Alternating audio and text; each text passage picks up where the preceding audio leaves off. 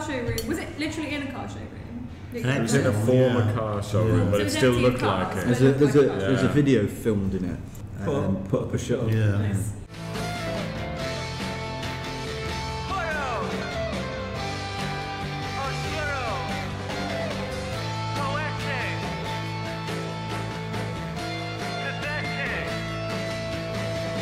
Do you remember when we were recording in there and a traffic warden came to ask me something, but I was in the middle of a take and I carried on playing drums and she just stood over me, waiting.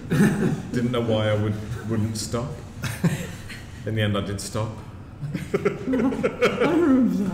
remember that. I remember her just staring at me, thinking, "This is um, this isn't how I play drums." normally."